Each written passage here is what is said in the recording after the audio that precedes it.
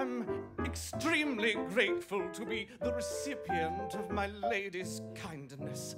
I have never in my life beheld such behavior in a person of rank, such affability, such condescension. She tends to me just like a mother, a woman unlike any other. Oh dear, I fear I'm overcome. Lady Catherine, Lady Catherine, how blessed am I to sing thy praise.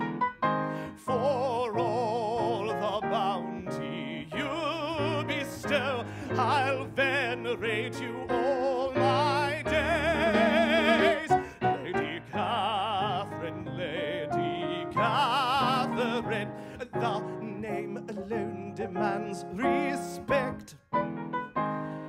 Though some may call her proud, I will contradict them loudly. There's no nobler chin than that of the Lady Catherine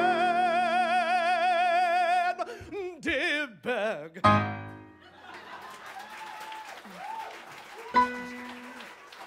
The garden in which stands my humble abode is separated only by a lane from Rosings Park, where I have been twice asked to dine.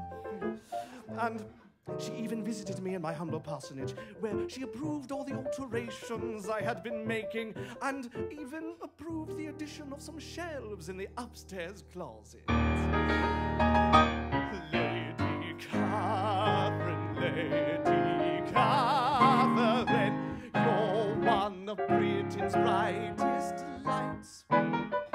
Such tolerance, such charity, you speak of how my soul ignites.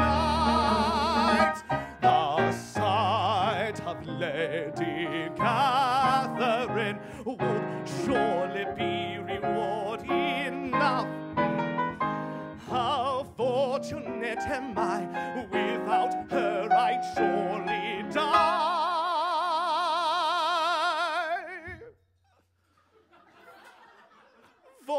There is none more void of sin, not a smile more genuine. Surely